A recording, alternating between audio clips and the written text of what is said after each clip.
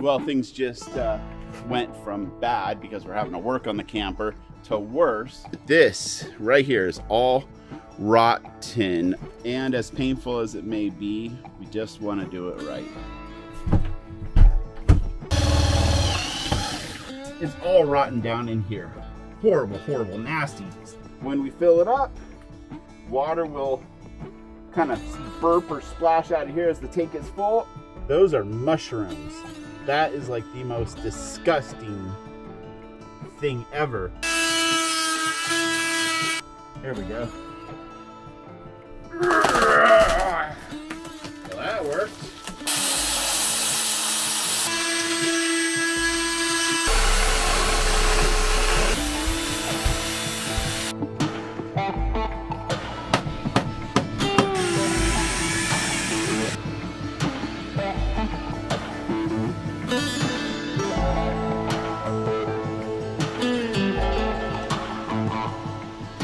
Hello, we are Ben and Rebecca, and this is our road puppy, Lucy. For the past four and a half years, we've been exploring North America from top to bottom and coast to coast, all while working towards the dream of driving around the world. And you know what? Things are finally falling into place for us. Before shipping across the Atlantic, we need to prepare our camper for the adventure of a lifetime. But what we envisioned being a two to three week project snowballed into a three month long renovation nightmare upon discovering hidden water damage. We've broken down the project into five videos. The Dometic 12 volt air conditioning installation, replacing a water damaged subfloor, upgrading the toilet to a Separett Tiny, the renovation process as a whole, and then we'll wrap it up with a video about the mistakes we made so you don't make them yourself. Be sure to hit the subscribe button so you don't miss a thing. And we'd also love to get to know you better, so check out the membership program on our YouTube channel. So here's the situation. If you want to talk about a worst case scenario, this is it. Our simple and novel painting, staining, and wallpapering project turned into a floor to ceiling renovation. Before we dive into that story, we do want to tell you that we've added chapters. So if you want to jump ahead to a particular part, like how we fixed the moldy, mildewy floor, you can do so down below. And also, want to throw out a disclaimer this is not a how to video, more of a how we did it video. And we watched YouTube videos and talked to friends to figure out how we were going to solve this problem. So if you do know better ways of doing things, put them in the comments below, but just be nice about it. We've spent the better part of the last three years traveling in our camper. It turns out that for at least that entire time, we've had a constant water leak that has now resulted in a moldy, mushroomy, mildewy, disgusting mess. Yeah, and that was hidden, but some of the water damage we knew about because the grab handle for our stairs uh, was leaking and it was leaking for a very long time, but it created a soft spot right in the entry. And what really was the icing on the cake was one autumn at home in Alaska where you get like 20, 30 inches of rain a month. It did it in. As soon as we discovered that leak that fall in Alaska after 20 inches of rain, we made sure to seal it up. And that solved the problem in terms of further damaging from water, damage from water, but the damage to the subfloor was done. It was rotten. The second area of water damage we were not too surprised to see because the caulking around the cassette toilet in our bathroom was just very problematic. I was always having to recaulk and it just got to the point where I was just slapping new caulk on there because it just kept pulling away from the walls. Well, this was because there were other, other water leaks which made the subfloor soft so that the cassette toilet did not have a stable platform to sit on, so there was this constant state of flexing. The other problem that Ben is referencing is our 40 gallon freshwater tank. Uh, it has a 6 inch inspection hole on the top of it, cap and fitting inside that hole. And uh, it was leaking, unbeknownst to us, probably long before we even had the truck. But uh, with a little bit of inspecting, determination, we figured out that what was happening was every time we fill that water tank with fresh water, it's pressurizing. and then the water is coming up through that inspection hole and the cap and fitting of it and causing a leak. Yeah, we're not talking about a lot of water, maybe a few tablespoons, quarter cup at the most. But you could also even imagine when the tank is full, water would be sloshing out when uh, driving just by nature of movement. All this being said, you might think we weren't regularly inspecting these water compartments, but we were, in fact, on a regular basis checking in there and looking around. The nature of the leak lent itself, though, to the fact that the water would roll off the sides of the tank down into hidden compartments that we just simply could not see upon inspection. Yeah, and I also want to acknowledge the fact that we travel full time in this vehicle made it infinitely worse uh, because that leak was there for a very, very long time, probably before we even bought the vehicle, but it was used on a weekend and maybe an occasional vacation basis. But just being filled up every five to 10 days, it made a nasty, nasty mess. So, why exactly was this tank leaking, you might ask? We did too we took it to a local plastic shop uh, in hopes of actually just sealing the hole and not having to deal with the cap and fitting anymore. What he uh, told us was actually that plastic welding tends not to hold up very well.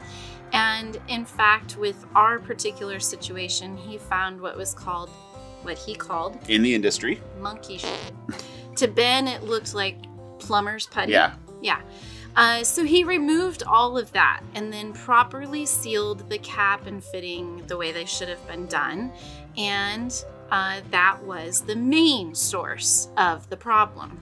Another problem was that the ventilation for our water tank was higher than the tank itself, when theoretically it should be like maybe equal or less than. But we fixed that down the road. Uh, fortunately, the plastic shop, he was great. Uh, he calls up, said, You're all set. I have your tank sitting upside down with five inches of water for the past few hours, and it's not leaking. Problem solved. So that brings us up to the removal of the subfloor. Here we are sitting with a rotten subfloor. Where do we even start? Uh, first up was determining where to cut out the rotten part. We still needed the subfloor to be supported properly by the floor joists, and our biggest concern with this portion of the project was to try to not have to take the entire dinette out because it housed our electrical compartment. It would have been a ton of work. so the solution was to repair and replace the subfloor. So the entire portion underneath the bathroom and most of it underneath the water tank, we were able to remove. But then that little sliver in the front doorway, we were able to repair. We had options when it came to removing that chunk of subfloor. What we ended up choosing was the oscillating saw from Harbor Freight instead of a Skil saw. The Skil saw is definitely a great tool in some ways, but it isn't very forgiving and not great in tight spaces, which we had a lot of. Especially when in the hands of somebody who's not necessarily an expert when it comes to stuff like that. So I could totally see myself cutting all the way through, cutting the aluminum sheet and even cutting the top of the uh, seal floor joist. I was not going to uh, gamble with that.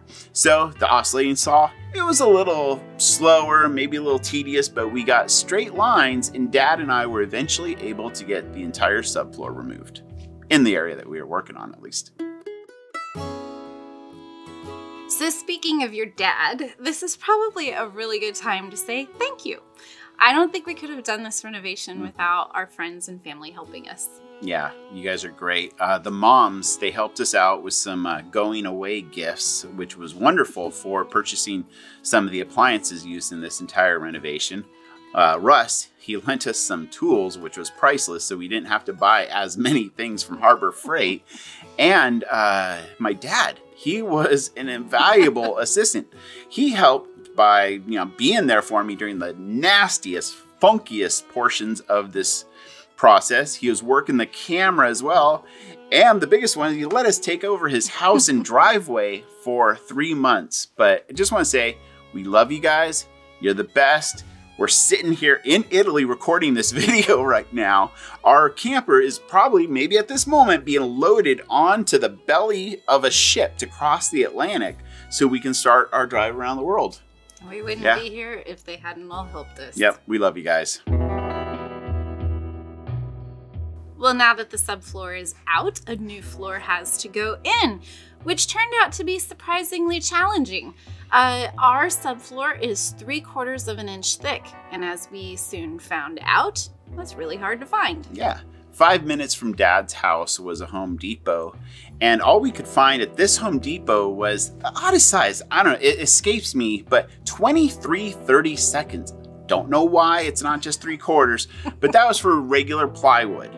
And that regular plywood was also as warped and crooked as a politician, so it just wasn't gonna work. The alternative was to head to the lumber yard across town, where we were able to find a three quarter inch piece of plywood. Turned out to be birch. but it was perfectly flat. Mhm. And cutting this uh, chunk of new subfloor to shape was pretty basic, just a bunch of 90 degree uh, cuts. And the way Dad and I got it to fit, because obviously you want to maybe take off less than you need, but with the help of the oscillating uh, saw and a belt sander, we were able to finagle it into place. We decided an extra layer of protection couldn't hurt, so we also ended up painting the subfloor. So let's move into the repairing portion of the subfloor. And there was that little spot right in the entryway that we didn't want to have to remove the whole dinette and electrical compartment for. And there were a couple other little soft spots as well. But for this, we used a product and it was a two part epoxy. It was pretty awesome. First off, we started with drilling a whole bunch of little holes in the wood that we wanted to repair. And then we brushed this uh, liquid hardener on. Let it sit for a day, it seemed to be working. And so we did another coat. By day two, it was harder than wood. Worked really well. It was also at this stage that I decided to use JB Weld to fill in the rusted old screw holes into the framework of the camper. And this is because I bought new screws and I was going to drill new holes.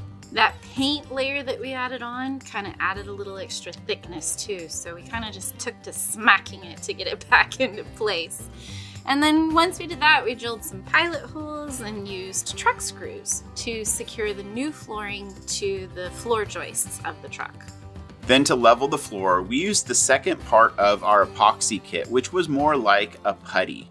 I ended up doing two applications and with enough sanding, we ended up with a perfectly level floor. It was awesome. We finished everything off with a nice new sheet of vinyl flooring, and we were ready to move on to the next step of the renovation. Well, that's a wrap for the subfloor portion of our renovation process. I hope you found it fun and yet educational at the same time. But make sure you hit that subscribe button so you catch all the other videos, and we look forward to sharing our travels as we drive around the world. Oh, yeah. This is disgusting and a very good point to end the day before we get in a fight with each other. Uh, another fight. You're implying we haven't had a fight yet.